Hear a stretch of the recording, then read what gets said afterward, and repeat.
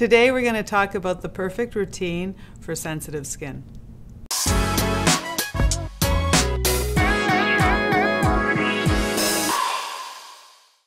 Hi everyone, Manuela Marcheggiani from Isomers Laboratories, and I'm a cosmetic chemist with over 30 years experience in uh, product development, formulations, creating skincare. And today we want to talk about formulas for sensitive skin, what happens, what the needs are for sensitive skin, and just some of the call outs that really help will maybe help manage your sensitive skin better.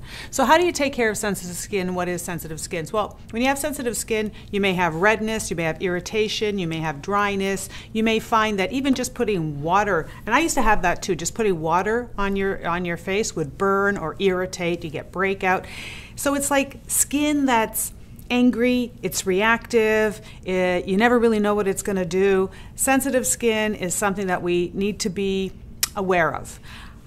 Why do we get sensitive skin? Well, sometimes it's genetic, sometimes it's what we eat. Sometimes we just pay too much attention to our skin. We're doing too many good things and the skin becomes sensitive, like over cleansing.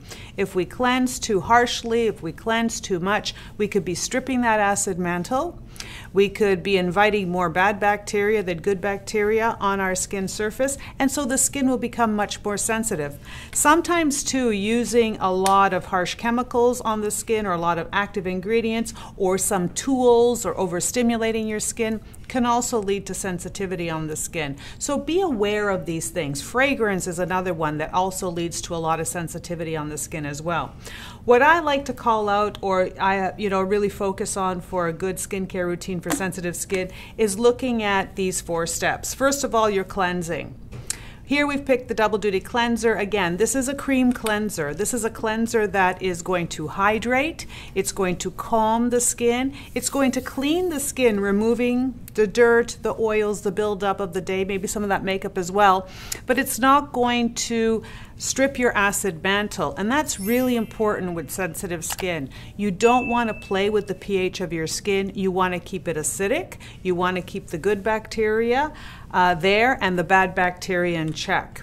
Other ingredients to look for with sensitive skin, we highly, highly recommend trace minerals, especially our copper peptide concentrate. Copper peptides, especially blended with zinc and magnesium, these are really important ingredients for a healthy skin barrier and keeping the skin calm. So the trace minerals in the copper peptide really calm the skin down, bring the right amount of uh, you know protection and calming and soothing elements. So that's something to look for, something with zinc, something with copper peptides, something that's going to give a mineral balance to the skin. Another thing to really consider with sensitive skin, especially if you've got sensitive skin, it's red, it's flaky, you really need to boost the ceramides. Your ceramides tend to be depleted. And think about ceramides, well, think of a brick wall. So you have bricks and you have mortar right? Or you have tile and you have grout, right? This is what the ceramide is. It is what is holding those skin cells together.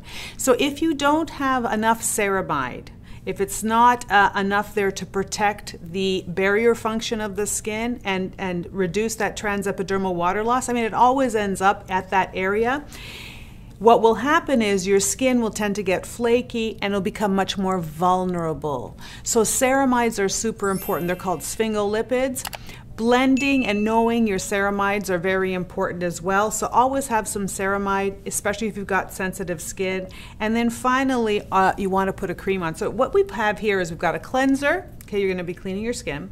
Then we have some serums, and these serums, one is more of a water-based serum with the copper trace minerals to really calm the skin, bring in hydration. Then you have a ceramide, sphingolipid. It's a little bit of a fat. That's also going to help with the adhesion of the corneocytes. It's going to help with your cells, and it's going to help with your skin barrier. And finally, I love our triactive microbiome. This has prebiotic, probiotic, postbiotic. This is all about a healthy living layer of your skin, the healthy environment.